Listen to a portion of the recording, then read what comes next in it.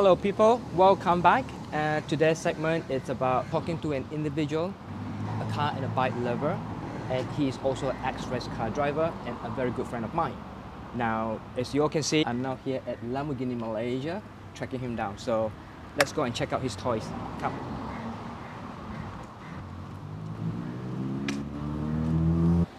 Ron, Happy Chinese New Year! 恭喜发财！恭喜发财，恭喜发财。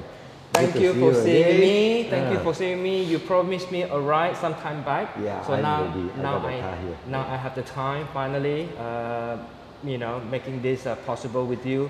So I'm looking forward to uh, ride with you in Mm. Okay. your Muchi. And I heard Alright. it's a manual, right? Yes, yes. Come, let's go. Come.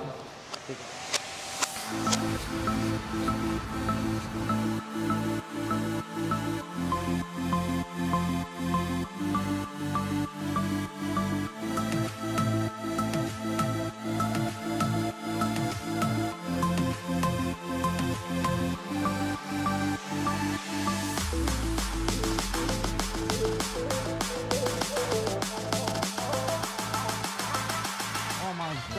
at this. Look at this baby. She's still hot and sexy. After what? 19 years? Yeah. This is 19 years old. My 19 years old. goodness. And it's matte titanium color, beautiful finish with black wheels. All right. Wow, check out the smell. A nice Italian smell. Steady down, huh?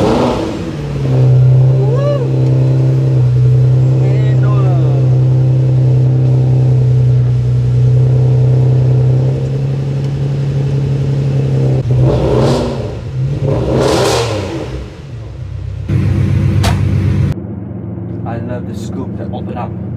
I thought that only come on when it's getting hot, the Yeah, engine. when it's uh, when it's warm, Ah. It's automatic, right? automatic. Can you over? can, eh, some car have, oh yeah, you actually you can actually on it straight away. Okay. Yeah, follow this car.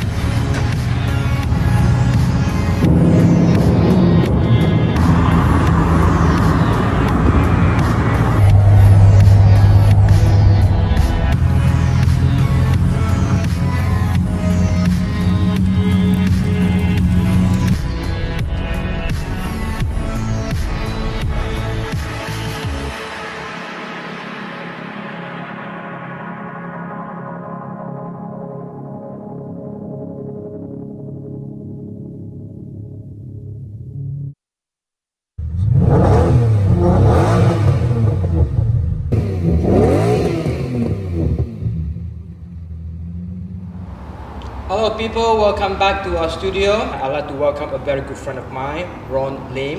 And that's Rudy, you already know who is he. So uh, today's chapter, it's about the journey of Ron.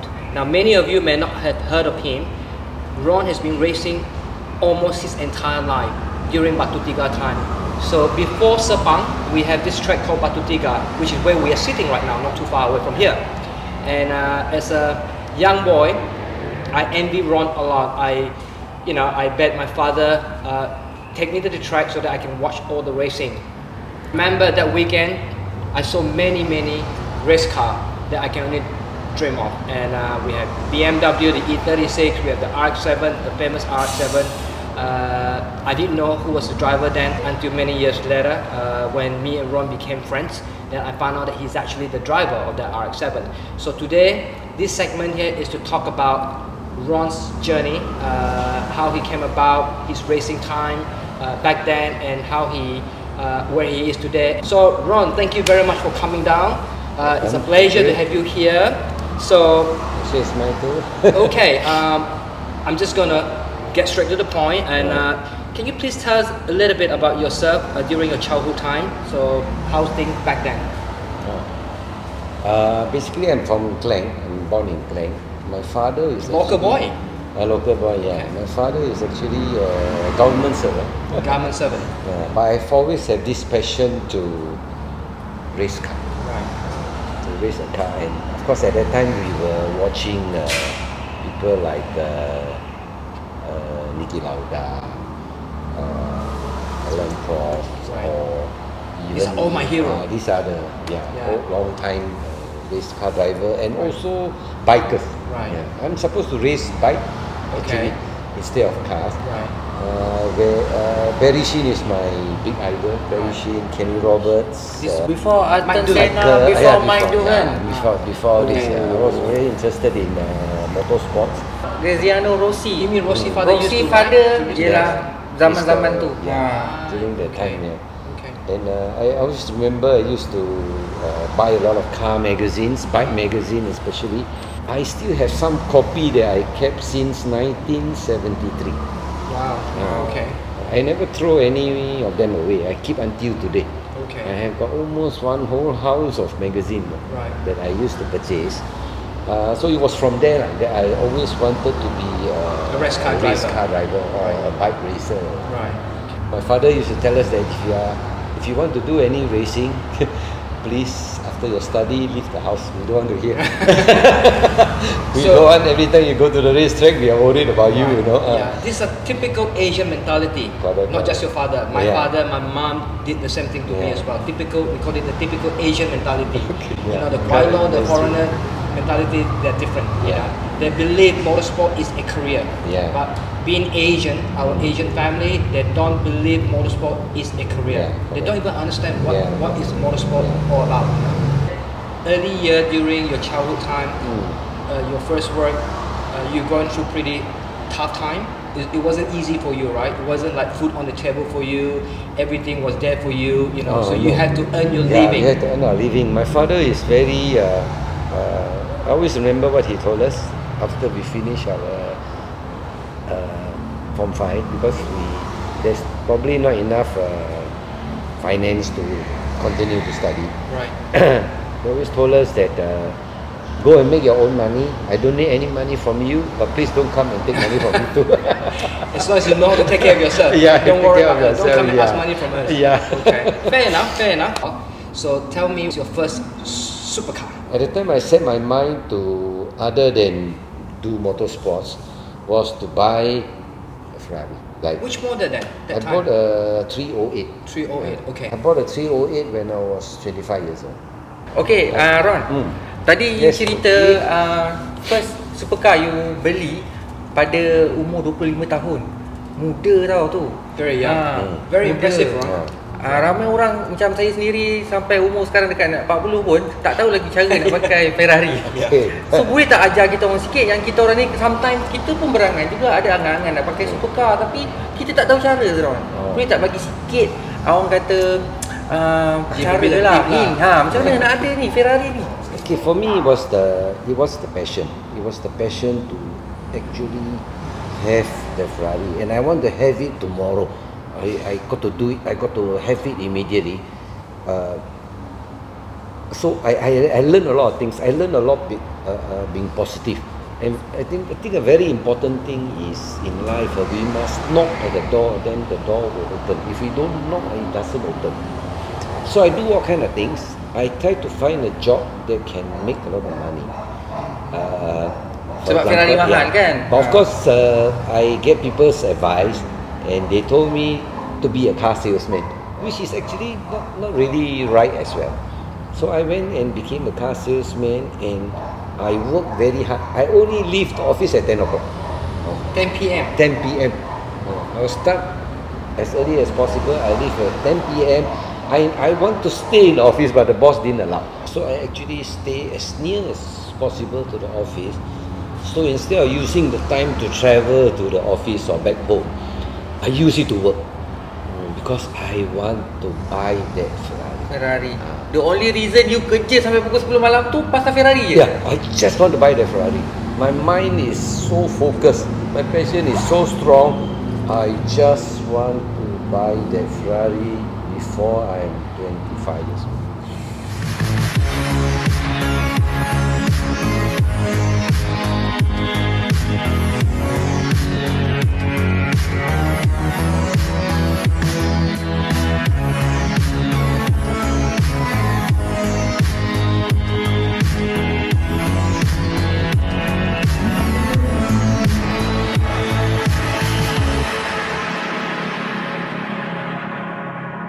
Okay, now that's your racing journey. Uh, let's talk about a bit of your toys, your Oh. current toys today. yeah, and today, the toys that you brought here is a Murcielago. All right. Now, I don't know you know about Murcielago. The word is a Murcielago is actually not Italian. Oh, Do you know that? yeah, I, yeah. I- Murcielago is actually a Spanish word. Oh. The meaning of Murcielago is actually bag.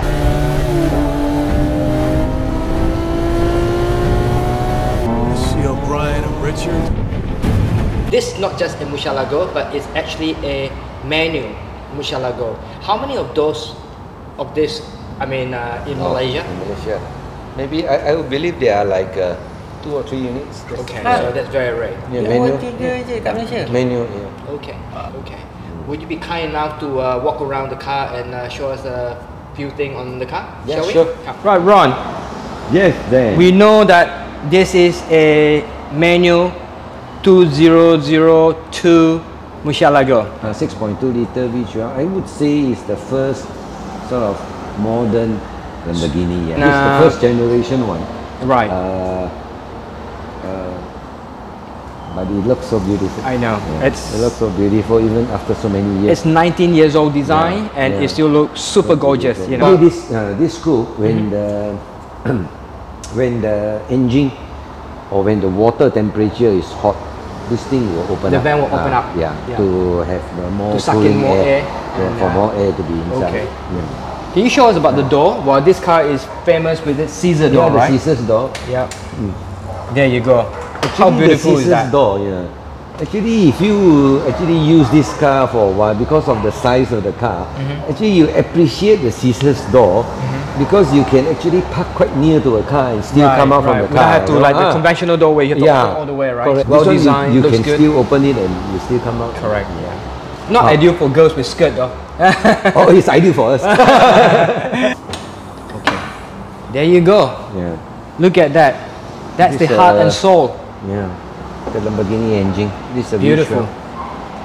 Lamborghini makes really good carbon fiber. You know. This is like like uh, almost 20 years and it's still Mm-hmm. And it still looks shining. good, yeah, yeah. it still li- looks good. Yeah. Yeah. And you know that the Murcielago, uh, almost every part of the body is carbon fiber, Mm-hmm. Right. except the roof and the door. You mean all these bodies are carbon fiber? Carbon fiber. No Carbon kidding me. Fiber, carbon Oh, wow. fiber, carbon fiber.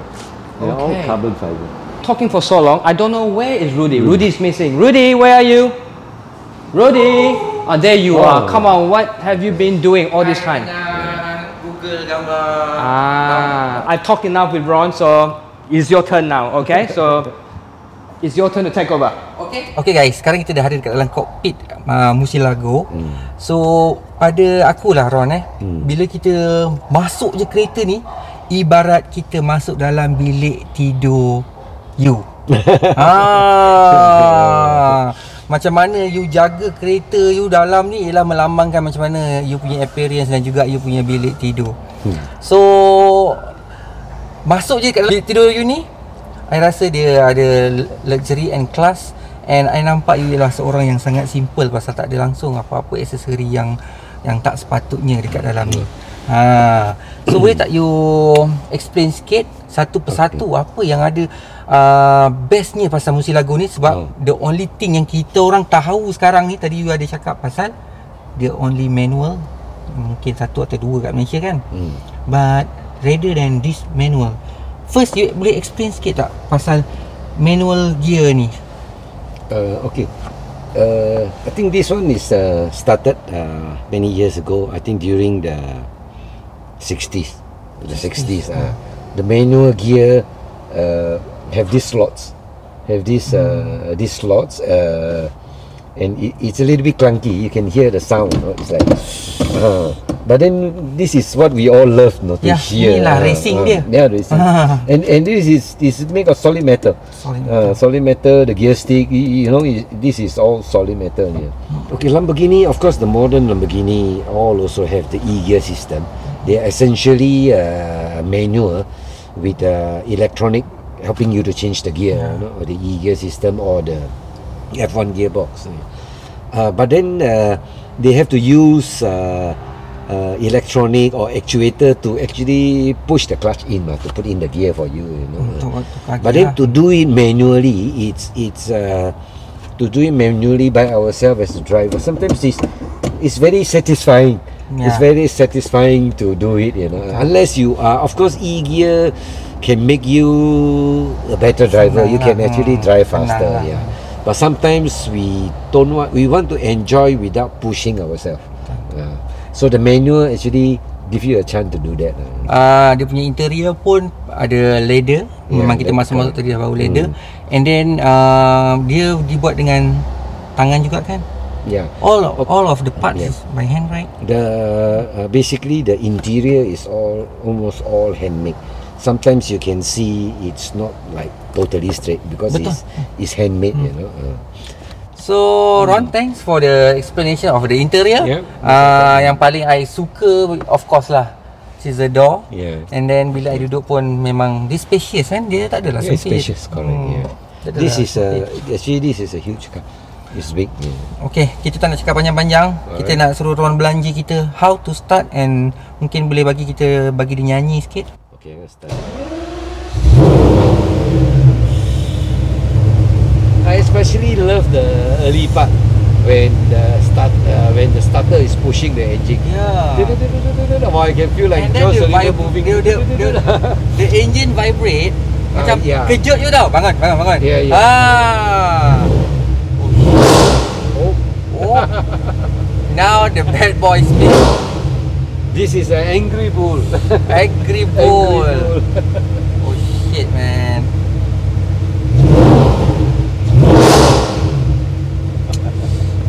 Aduh. Okay guys. It's wonderful. Hmm, macam tu lah the Musi manual, Musi menu. Musi menu. Musi menu. Musi man. Musi man. Musi Ah, punya suara. Alright, thank you very much bro. Right, boys and girls, we have now come to the end of the show. And Ron, I want to thank you so much for coming down here and share with us your amazing story. It's really, really inspiring, and uh, I love it. Okay, so thank you for watching, guys, and uh, do leave us a comment if any. And Rudy, Um, ya selalu kita tengok kereta ni dekat toy atau Google je. So orang kata tak ken- tak tak kenal maka tak cinta. Tengok depan-depan is very gorgeous. I don't know like lady or man or doesn't matter. Doesn't matter. Ah. So Ron, thank you for datang. so much. Okay. Maybe you can show us uh, More of your toys. Of your toys. Uh, next episode. Alright, yang paling penting ialah aku nak beritahu kat korang bu- budak lelaki dia takkan membesar weh.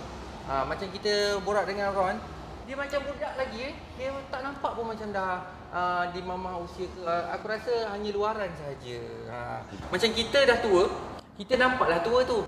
Tapi kita masih muda sampai bila-bila. Alright. Lastly, again, I want to apologize for the background noises. I'm pretty sure you heard dogs singing, dogs crying, cats, go kart, whatever, all the noises around us. Again, I apologize on behalf of the team because we are situated at the racetrack and the cats and dogs everywhere. So sorry about that. We hope you guys are inspired by Ron's story and um, we'll see you on the next episode. Bye, guys.